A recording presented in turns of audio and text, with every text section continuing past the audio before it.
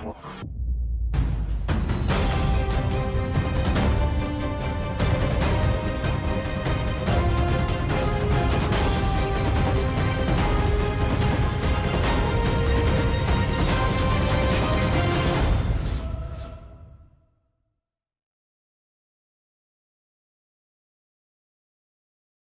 Hello my Virgo friends, I've decided to do a snapshot today and I'm just going to wing it, try something different. I've got a deck here that's kind of falling together. It's my angel cards and the kitchen tarot. I'm really kind of enjoying it so I'm going to leave it that way. Let's do a quick snapshot, see whatever energy comes up. This is a general reading, okay? And it's going to be short, not a long video. All right, see what we got. Thank you for like, sharing, and subscribing. I appreciate it when you do. It helps the videos move up in the search categories on YouTube. And uh, it looks like Capricorn might be wanting to beat you guys out this this uh, month for extra readings, so I guess we'll have to see what happens. All right, see what we got going on for my Virgo friends, my Virgos. We have the timer, the kitchen timer. This is the hanged one, the hanged man. So it's about taking the time to let things percolate and to grow, to let things cook, and to come to fruition. It's about a miracle worker waiting for miracles to be formed in the span of something that you never would have imagined coming to fruition. And then we have I am the angel of marriage and I'm assisting you right now. So if you're married or in a relationship, this will really resonate with you. This could be about a marriage and business. This could be if you want to be married at some point in time. Perhaps it's about being in hanged man mode and putting all of those things together. You've put the ingredients together. It's just about a waiting period to gain clarity from the divine while you let the divine work in the background to bake all of this goodness into fruition. Beautiful. All right, see what we got here for you guys. My Virgos, quick snapshot. We got the truth coming in. Someone who's cutting out the BS. Someone who's sitting there trying to find fair and just balance in decisions. A decision the divine has brought forward and you're trying to find out where the truth lies in it. How to move forward with it. Cutting out the BS, saying, you know what, I just I can't take it anymore. I don't know if I can be in hangman mode anymore, Divine. It feels like forever I've been in hangman mode trying to find clarity on things. Use your intuition. The Divine's asking you to go into clarity. Use your intuition. Accept opportunities that come into your life. Search them out. Don't say no to opportunities, even though you're kind of in a hanged man state because there is a very happy outcome coming here, possibly dealing with, woof, that scared me, the door closed, dealing with a Leo personality in some way, shape, or form. I have quite a few Leos in my life. You're very conflicted about what to do here. There could be a celebration that ensues, but you're holding on very tightly to something. Maybe you're holding on to this conflictedness and not letting go because it's the only thing you have left that reminds you of the last phase you were in. All right, see what we got going here. In the hangman mode, the kitchen timer is something. The divine is cooking something. It's gonna be good. Oh yeah, the divine doesn't put you in timer mode. you don't go into timer mode and work on all that stuff in the kitchen if it's not going to be good.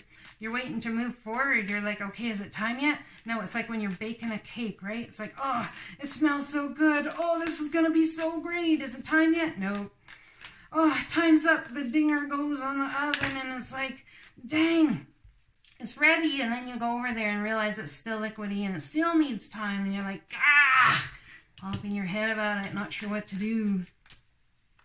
It takes time to bake beauty and yumminess, my friends. All this yumminess we seek in life, the celebrations, the happy outcomes. It takes time.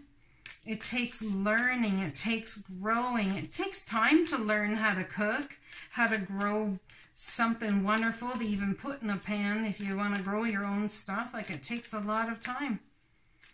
Maybe it's something you've put on the back burner and it's been in storage and it needs to come out so you can have a creative new way of looking at things. A creative new way of understanding the balance that happens between the shadow side and the light side. A creative new way of looking at how to take and fill this beautiful cup, brand new cup the divine's given you to fill however you choose. However you choose, with whatever love you choose to fill it with. Let's see what this marriage thing is about. Perhaps someone really does want to have marriage in their life. Look at that, hanged man mode again. Y'all could be dealing with a Pisces, a Cancer, a Leo, Capricorn. Everybody's really kind of here. Sagittarius even. Why am I? Yeah, I guess Sagittarius, Pisces, uh, Aquarius, Libra, Gemini. Yeah, it could be any sign. Anyway, someone might really want to get married, but they're in hanged man mode about it, perhaps. Maybe they'd love to have that commitment, but there's been a brief pause. This could be about a, a relationship, too. There's been a brief pause, and it's freaking you out. Things are unclear, not sure what to do. Look at this, how the moon and the sun card are right across from each other, just like what we're going to experience here pretty soon tomorrow and the next day, and I see the Wheel of Fortune spinning in your favor here where this is concerned. Is someone going to come and ask you to marry them and it's going to be like blowing your mind? It's going to be like, what? No, I can't do that. You kidding me? That's too late shadow side crap. I'm going to marry nobody. But there's victory coming possibly with Aries, Leo, Sagittarian energy, definitely stepping into your heart space. Perhaps someone's going to have to make a head over heart decision, or in this case, a heart over head decision, but it's going to cause an absolute battle within because you're still healing. You're healing from something that really hurt you. We got the Four of Swords here. This is this comes after the Three of Swords, which is being stabbed in the heart. All that pain. There's your guys' energy coming out, going into hangman mode to see what to do about this scenario. Playing the waiting game, really and truly in hangman mode, trying to gain clarity. Things are looking up though. Things are looking up. Maybe you're starting to feel a little better, starting to feel like you can create new things, create new magic in your life. Moving away from rough time to calm times. That's beautiful. Yeah, after feeling left out in the cold holding a money bag. Well, the money bag is empty, but there's an offer coming in because you guys are going to be buckling down getting this work done. And that can't happen unless an offer comes in. Either that or you're focusing majorly on your money and building your pentacles while the divine works in the background on whatever situation ship this is about. Okay, let's get what's tying these two lumps together here. Well, we need balance. I'm not going to take all of these cards. So the need to balance and moder and moderation. Okay, the need for balance and moderation, cooperation and compromise. Wait for perfect timing. So waiting for perfect timing means divine timing, right, guys? So this is all about the divine trying to bring something to fruition, to bring hope, happy times, make positive, optimistic, long-term plans. You're on the right path but you're being too frivolous or too cautious with your money. Make good business decisions, giving to those less fortunate. I think you guys want to share the wealth you've come to to have and perceive with other people. Listen to your intuition. Have patience. Consider carefully what you want before acting. Make sure you want it because we are in high state manifestation mode right now, my Virgo friends. I tell ya, these cards are all half ass backwards. Maybe that's the way you feel life is right now. It's all just half-ass backwards. You don't even know what to do or how to make sense of any of it. All right. Advice from the angels, please. Advice from the angels. So we have two.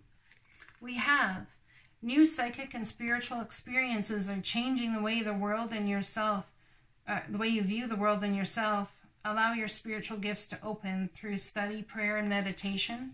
Your children on earth and in heaven are happy and well cared for by God. So if you're concerned about your children, God's got them. They're on their own soul trajectory path. If you've lost a child, my friends, to the other side, I'm telling you right now, they are, oh, they are there loving on you. They are there loving on you. I'm going to tell you right now, I'm getting from somebody, and this may only be for one or for two. Oh, okay, I have to stop. I'm getting for somebody that there's a white bird, looks like a dove, could be a cockatoo with orange and yellow on them. And this bird is, well, I see it just sitting there. Its feathers are very well defined. It's like it's sitting there and all of a sudden it's just looking at you. And it's looking at you intently.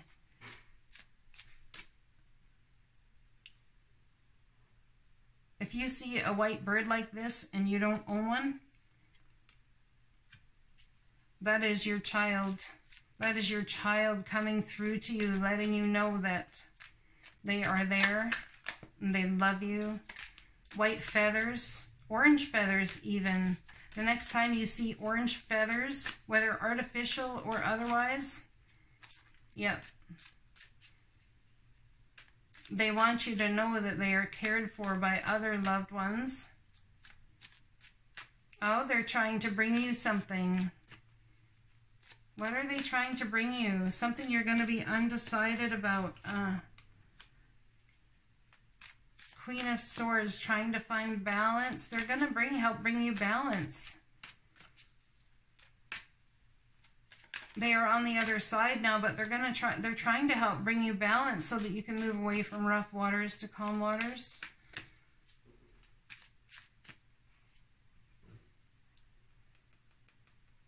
I'm getting also that someone might see a scales of justice, uh, golden or brass type thing that looks like the scales of justice and it has a bird or a, some sort of symbol on it. It's going to be very prominent for you. Also, I think your child is working in the background to try and help bring justice to your life and your situation. Are we done with this now? Well, for now. All right, so there's a big old new Ace of Cups coming your way. It's a cup you can fill with whatever you desire and whatever you want. And there's challenging information that's going to come your way, my friends. Very challenging. Nine of Swords. Okay, I just got another thing. When you are in bed and you feel like there's a, a little move along the side of your face just like this or like a something's on your face or something like that, that's that's the person that you lost. That's the child that you lost saying hello.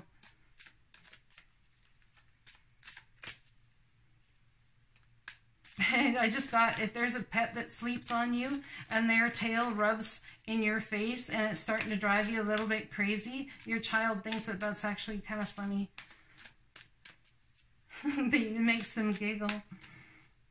Maybe that's something your child used to do with you is run things along your skin to try and tickle you. It's a very happy outcome coming here in this challenging information that's going to leave you all up in your head.